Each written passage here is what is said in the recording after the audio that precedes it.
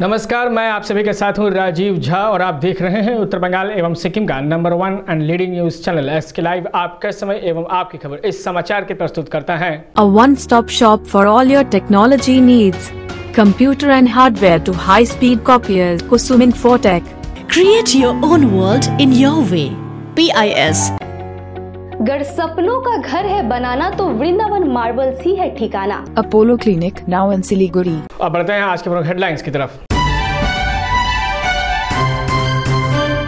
गौरव शर्मा बने सिलीगुड़ी के नए पुलिस कमिश्नर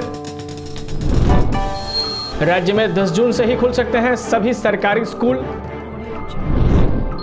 सीएम और टीएमसी प्रमुख ममता बनर्जी भी पीएम मोदी के शपथ में होंगी शामिल। 34 और 35 नंबर वार्ड से करीब 150 तृणमूल कार्यकर्ता और नेता भाजपा में हुए शामिल।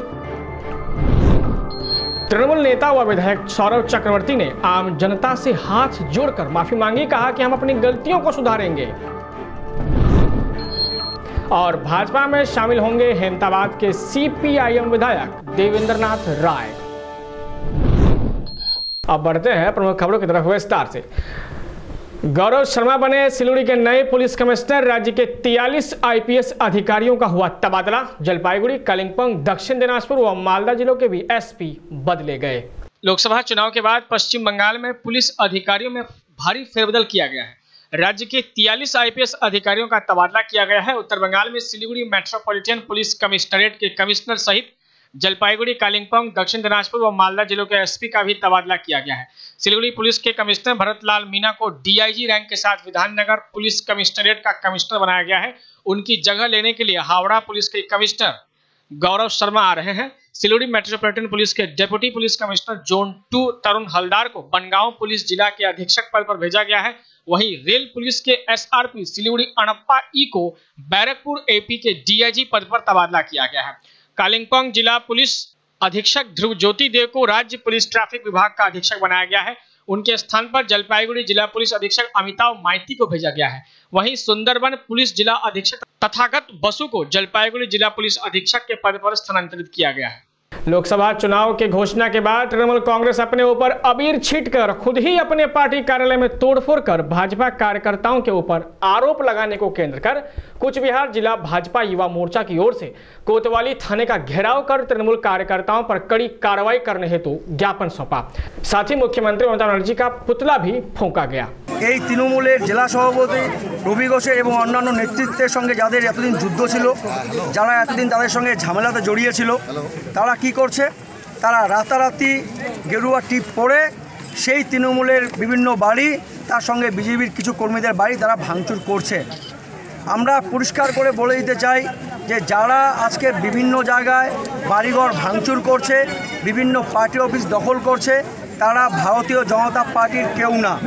এটা কারা করছে?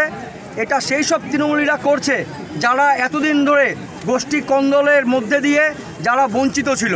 মানে গোষ্ঠী কন্দলের মধ্যে দিয়ে যারা রবি ঘোষের বিরুদ্ধে যারা এতদিন ছিল তারাই আজকে কি করছে এই গেরুয়া টিপ পরে তারা সন্ত্রাসে জড়াচ্ছে এবং বিভিন্ন বাড়িঘর ভাঙচুর থেকে আরম্ভ করে পার্টি অফিস দখল থেকে আরম্ভ করে তারা এইসব কাজ করছে আমাদের দাবি অবিলম্বে সেই সব সন্ত্রাস যারা করছে সেই তৃণমূলের গুন্ডা বাহিনী বা সন্ত্রাসবাদী যারা আছেন তাদেরকে পুলিশ প্রশাসন অবিলম্বে গ্রেপ্তার তাদেরকে করতে হবে এক राज्य में 10 जून से ही खुल सकते हैं स्कूल पूरे राज्य में विरोध प्रदर्शन के बाद अब राज्य सरकार कर रही है स्कूल खोलने पर विचार चक्रवाती तूफ़ान फोनी के मद्देनजर स्कूलों में तीन चार मई को छुट्टी दे दी गई। इसके बाद माध्यमिक शिक्षा बोर्ड ने नोटिस जारी कर स्कूलों में 6 मई से 30 जून तक गर्मी की छुट्टियों की घोषणा कर दी।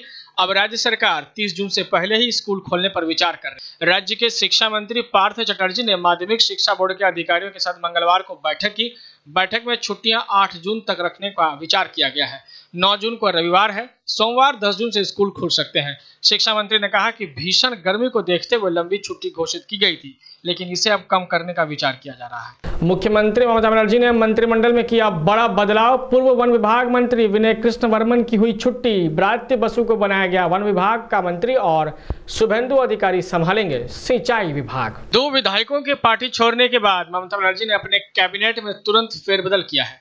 परिवहन मंत्री शुभेंदु अधिकारी को सिंचाई जल संसाधन जाँच व विकास विभाग का जिम्मा सौंपा गया। ब्रात्य वसु को वन विभाग का अतिरिक्त प्रभार मिला है। दमकल विभाग मंत्री सुजीत बोस को वन विभाग का राज्य मंत्री बनाया गया है। जल संसाधन जाँच व विकास मंत्री सोमेन महापात्र को पर्यावरण प्रदूषण व लोक स्वास्थ्य अभियान विभाग का प्रभार मिला है। मलय घटक अब श्रम व कानून विभाग की जिम्मेवारी संभालेंगे। पिछला वर्ग कल्याण विभाग के प्रभारी राजीव बनर्जी, एससी, एसटी व आदिवासी मामलों को देखेंगे। टीएमसी के वरिष्ठ नेता सुब्रत मुखर्जी को फिर से पंचायत मंत्री बनाया गया है। आवासीय राज्य मंत्री चंद्रमा भट्टाचार्य को पंचायत राज्य मंत्री की अतिरिक्त जिम्मेवारी मिली है। पूर्व वन विभाग मंत्री विनय कृष्ण वर्मन और पश्चिमी क्षेत्र विकास मंत्री शांतिराम महतो को बिना किसी विभाग के मंत्री बनाए रखा गया है। पीएम मोदी के शपथ ग्रहण समारोह में पश्चिम बंगाल की सीएम व टीएमसी प्रमुख ममता बनर्जी भी होंगी शामिल। पीएम नरेंद्र मोदी के शपथ ग्रहण समारोह में पश्चिम बंगाल की सीएम व टीएमसी सुप्रीमो ममता बनर्जी भी शामिल होंगी। ममता बनर्जी ने कहा कि मैंने अन्य मुख्यमंत्री से भी बातचीत की है, क्योंकि यह एक अनुष्ठानिक कार्यक्रम है, इसलिए मैंने तय किया है कि मैं इसमें शामिल होने जाऊँगी। हाँ मैं जाऊँगी। लोकसभा चुनाव 2019 में मिले प्रचंड जनादेश के बाद नरेंद्र मोदी 30 मई को प्रधानमंत्री के रूप में अपनी दूसरी पारी का आगाज़ करेंगे। उन्हें राष्ट्रपति रामनाथ कोविंद गुरुवार को प्रधानमंत्री पद की शपथ दिलाएँगे। विश्व की सर्वोच्च चोटी माउंट एवरेस्ट पर पहली बार फतह हासिल करने वाले तेंजिंग नोर्गे की जयंती पर नैफ की ओर से पालित किया गया एवरेस्ट विजय दिवस। देश और दुनिया के इतिहास में आज का दिन कई वजहों से खास है। दरअसल उनतीस में उन्नीस के दिन दो लोगों ने वह कारनामा कर दिया था जो अब तक सपना ही बना हुआ था। एडमंड हिलेरी और तेंजिंग नोर्गे इस दिन एवरेस्ट की बर्फ़ से ढकी ऊँची और दुर्गम दुर्गम चोटियों पर फतह हासिल की थी। इस दिन को एवरेस्ट विजय दिवस के रूप में पालित किया जाता है। इस अवसर पर आज सिलीगुड़ी दार्जिलिंग मोड़ में परिवेश प्रेमी स्वयंसेवी संस्था नैफ और जलपाईगुड़ी विकास परिषद के पहल पर एवरेस्ट विजय उत्सव कार्यक्रम का आयोजन किया गया, जिसमें सबसे पहले संस्था के सदस्यों ने तेंजिंग नोर्गे की मूर्ति पर माल्यदान किया। इसके बाद संस्था के सदस्यों ने तेंजिंग नोर्गे की जीवनी पर भी अपना वक्तव्य रखा। संस्था के सदस्यों ने एवरेस्ट विजय कार्यक्रम के माध्यम से तेंजिंग नोर्गे को भारत रत्न देने की भी मांग की। भाजपा में शामिल होने का सिलसिला लोकसभा चुनाव की घोषणा के बाद तेज़ी से हो गई है शुरुआत। चौतीस व पैंतीस नंबर वार्ड से करीब डेढ़ सौ तृणमूल कार्यकर्ता और नेता भाजपा में हुए शामिल।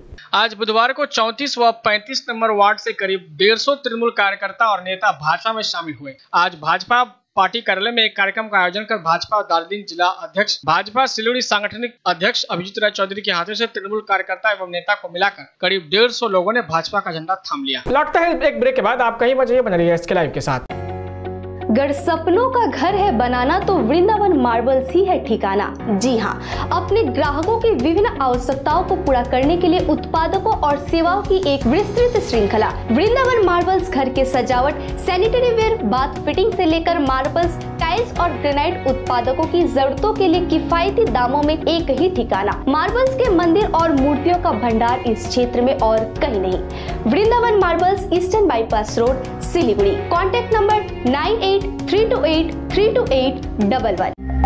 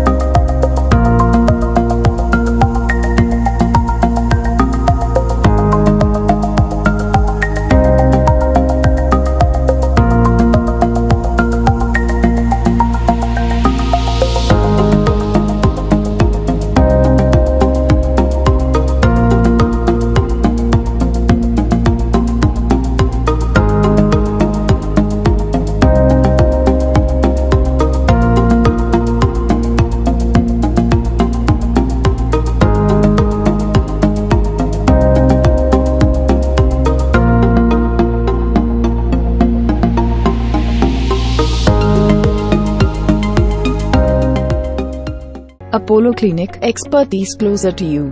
Apollo Clinic, now in Siliguri. Services offered, doctor consultation, all kind of blood test, USG, echocardiography, TMT and PFT, including Apollo Dental Clinic.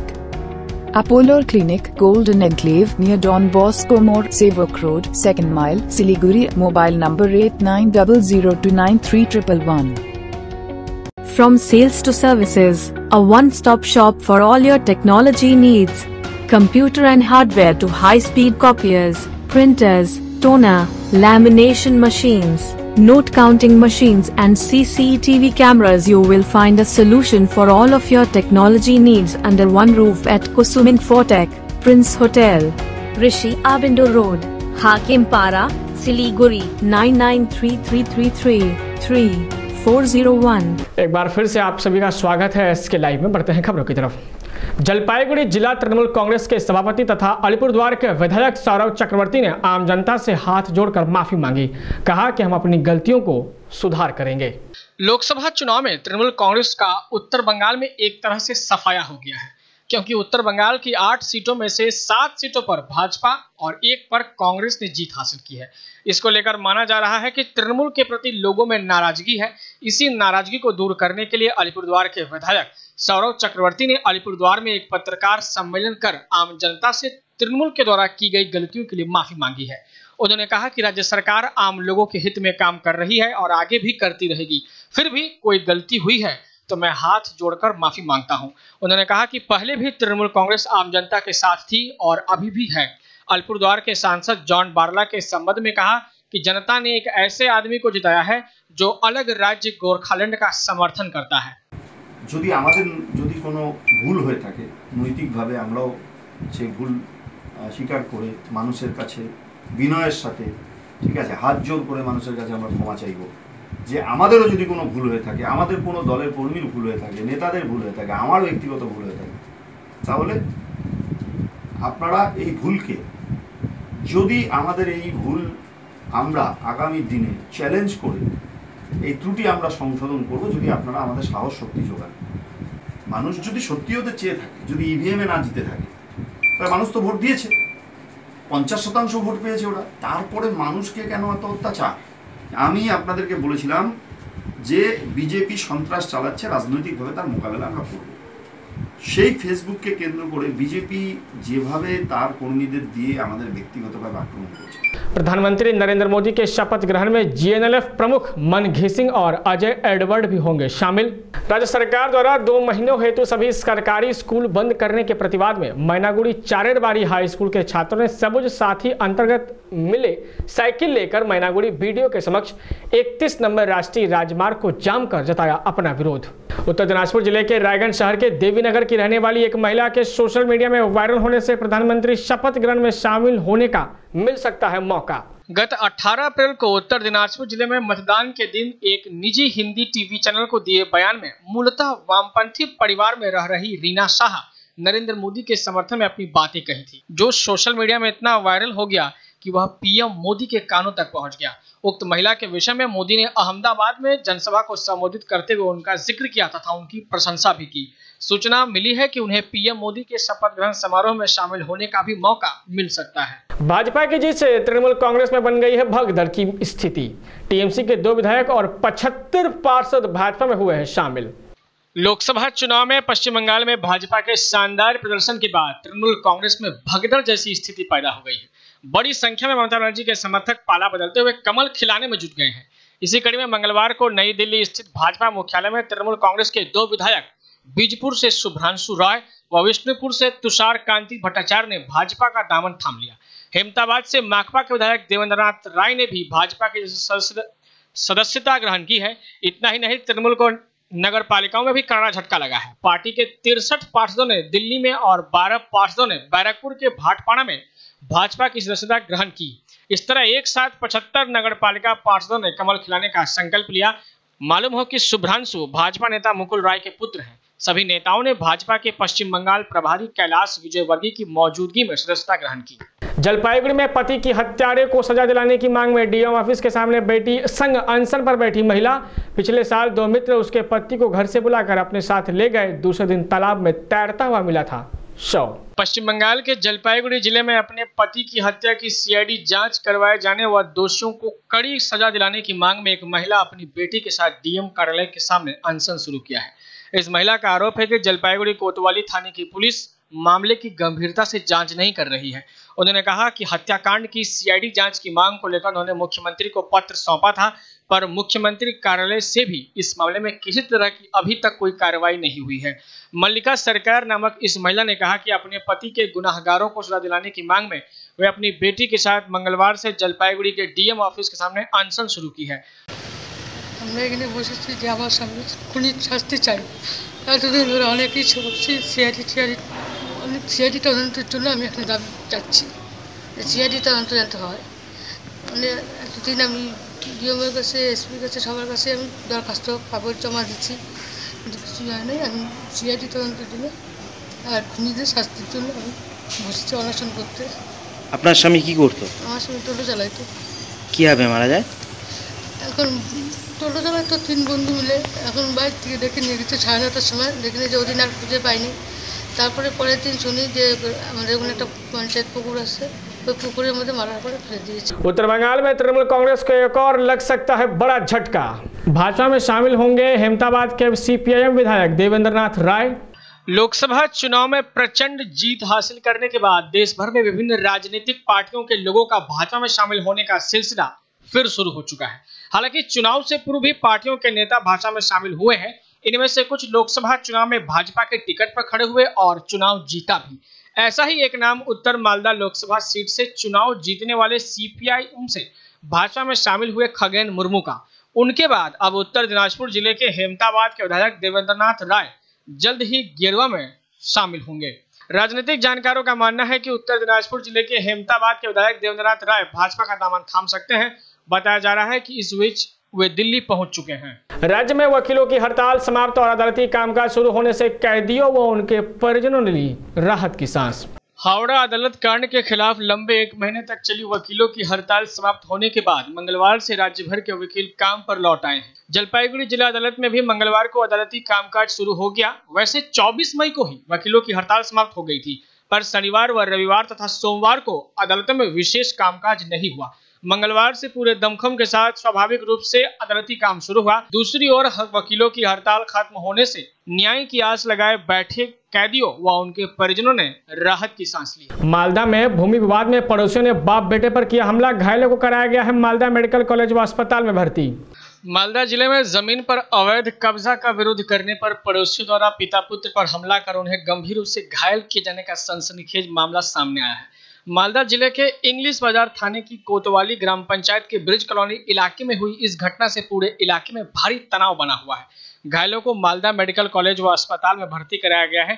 पीड़ित परिवार की ओर से इस घटना को लेकर आरोपी यादू चौधरी और उसके साथियों के खिलाफ थाने में मामला दर्ज किया गया है और घटना के बाद से सभी आरोपी इलाके से फरार हैं। पुलिस ने बताया कि घायल व्यक्ति का नाम गंगाराम चौधरी है एवं उसके पुत्र अर्जुन चौधरी हैं। दोनों के सिर पर वजनदार वस्तु से आघात किया गया। हमले में दोनों का सिर फट गया है और उनके सिर में दस टाके भी लगे हैं। आखिरकार अलीपुरद्वार में फिर से पिंजरे में फंसा तेंदुआ पिछले कुछ दिनों से मचा रखा था। इलाके में दहशत का माहौल। अलीपुरद्वार ज़िले के लंकापारा चाय बागान में मंगलवार देर रात एक तेंदुआ वन विभाग के पिंजरे में जा फंसा। चाय बागान के श्रमिकों ने बताया कि चाय बागान के पाँच नंबर सेक्शन से वन विभाग के पिंजरे में एक पूर्ण वयस्क तेंदुआ कल देर रात फंसा। आज बुधवार को सुबह से तेंदुओं को देखने के लिए चाय बागान में लोगों की भीड़ देखी गई। स्थानीय लोगों ने बताया कि इलाके में कुछ दिनों से उक्त तेंदुओं का उत्पात काफ़ी बढ़ गया था। अब तक के लिए इतना ही। इसी तरह की तमाम खबरों की जानकारी के लिए आप लगातार बने रहिए हमारे साथ, यानी एस के लाइव के साथ। आपका समय एवं आपकी खबर। धन्यवाद।